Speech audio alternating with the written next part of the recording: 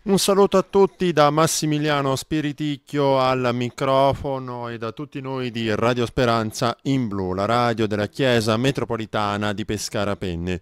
Ci sono stati i primi capitoli del Vangelo di Giovanni al centro eh, del primo incontro eh, di esercizi spirituali che si è tenuto ieri nella eh, Chiesa dello Spirito Santo a Pescara, tenuti eh, da Sua Eccellenza Monsignor Tommaso Valentinetti Giannetti, arcivescovo di Pescarapenne. Esercizi spirituali che, lo diciamo subito, proseguiranno fino a giovedì, eh, sempre sui, eh, sul Vangelo di Giovanni. Un Vangelo nel quale, ha detto il presule, eh, ricorrono i termini testimoniare e risanare, inteso come uno stare con, in questo caso con Gesù Cristo. Giovanni Battista, detto eh, l'arcivescovo di Pescarapenne, testimonia perché tiene fisso lo sguardo su colui di cui è testimone. I due discepoli eh, che lo sentono eh, seguono eh, Gesù. Egli li osserva e dice che cosa cercate? Ed è questa una domanda remota. Ascoltiamo l'arcivescovo di Pescarapenne. L'atteggiamento di Gesù nei confronti di coloro che lui vuole evangelizzare è un atteggiamento di iniziativa. Gesù parte per primo. Mi pongo questa domanda, la nostra evangelizzazione parte per primo? Oppure un'evangelizzazione ancora che attende. Non dovremmo essere noi i discepoli del Signore che partiamo per primi, oppure siamo ancora fermi ad attendere che qualcuno ci venga a chiedere qualche cosa, per esempio i sacramenti. È una considerazione. Serve per la meditazione. Serve per la meditazione personale, ma serve anche per la meditazione pastorale. Perché grazie a Dio le persone che sono qui davanti a me siete quasi tutti operatori pastorali. Dunque mettete orecchio a questa attenzione gli risposero Rabbi, che tradotto significa maestro, dove dimori? Dove stai? La vecchia traduzione era dove abiti, ma era un po' scarsetta come traduzione.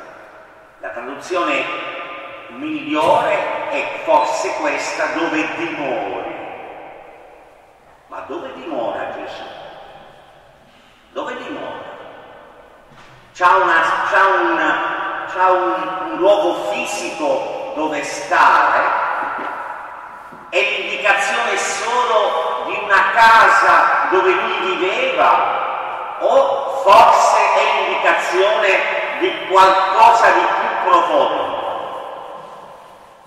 E qui ci aiuterebbe molto il prologo, quando ci dice che Gesù è rivolto nel seno del Padre.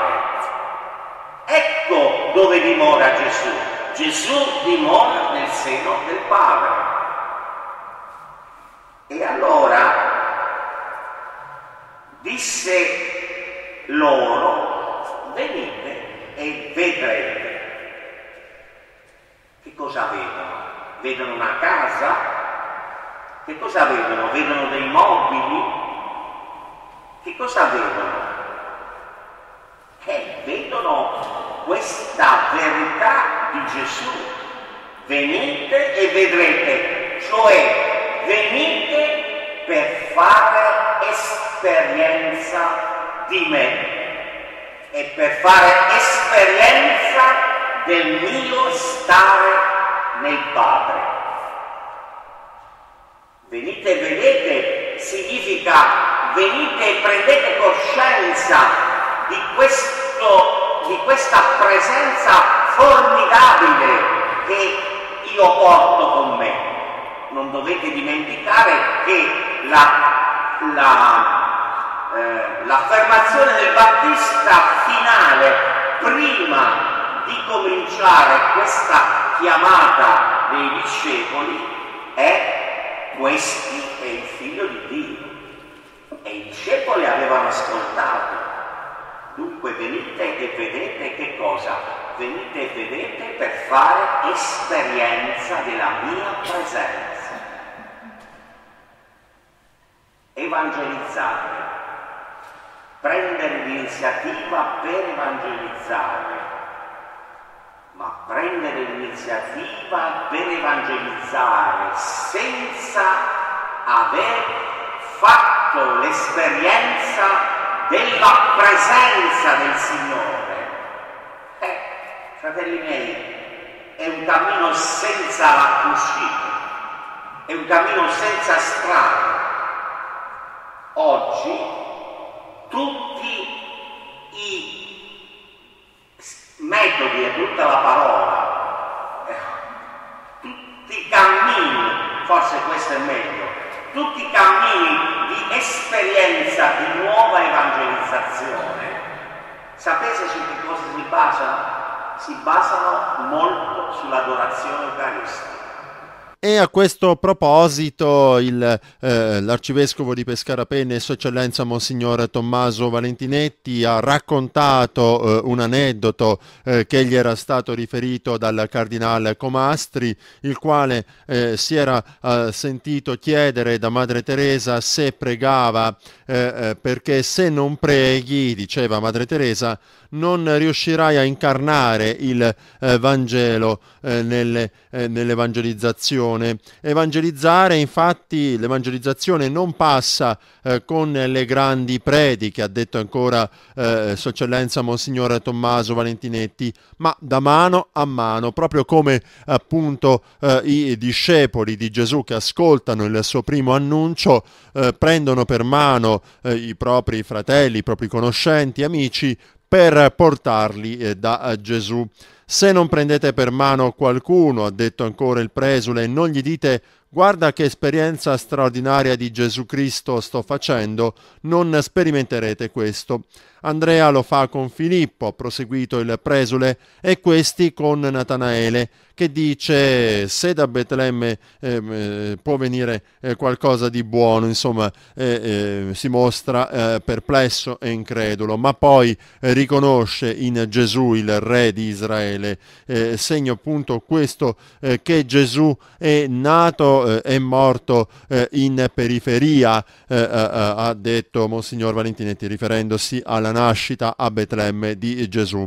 Dunque eh, una eh, eh, fede, quella di Natanaele, molto basata su un vedere, eh, su, un ricorren- su una ricorrenza di questo termine proprio eh, nel brano di Vangelo che ci descrive l'incontro appunto tra Gesù e Natanaele e ascoltiamo a questo proposito la conclusione di Sua Eccellenza Monsignore Tommaso Valentinetti, Arcivescovo di Pescarapenne. Notate bene che alla fine del Vangelo, scusate se faccio riferimento ancora all'episodio di Tommaso, Gesù dice beati quelli che pur non avendo visto hanno creduto. Invece vedete quante volte qui si ripete il verbo vedere, vedere, vedere, vedere, vedere, vedere. Eh, Giovanni Battista ha visto, i discepoli hanno visto, eccetera, eccetera, eccetera, eccetera. Vedere per fare esperienza, ma per fare esperienza che poi conduce alla fede e quando conduce alla fede, quella fede deve essere una fede nuda. E ricordiamo in chiusura che gli esercizi spirituali vanno avanti fino a giovedì, appuntamento dunque ogni sera alle 21 nella chiesa dello Spirito Santo a Pescara.